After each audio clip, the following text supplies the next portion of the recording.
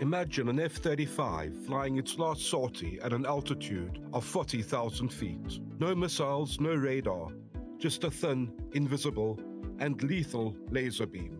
No warning, no electronic warfare. Three seconds, and the expensive jet becomes a fireball.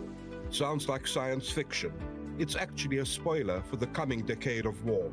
Is this the end of the era of air superiority or the beginning of a new algorithmic, not kinetic, superiority?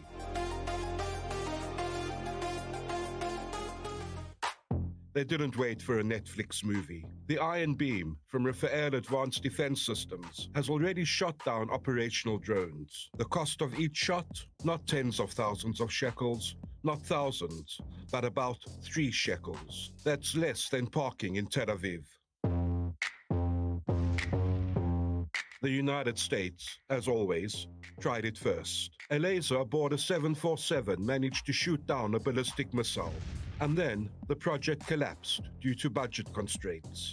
Since then, they've been working on a miniaturized version APCs, ships, drones with lasers.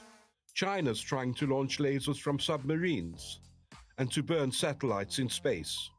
Russia claims it has an anti satellite laser. Have we seen proof? Not so much. Have we seen presentations? Plenty.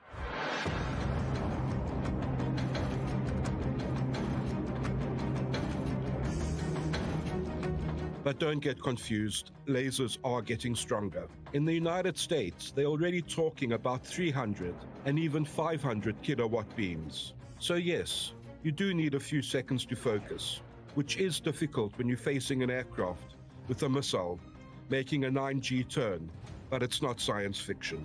Scenarios in which a laser fired from the ground or a drone shoots down a lone plane have already been tested.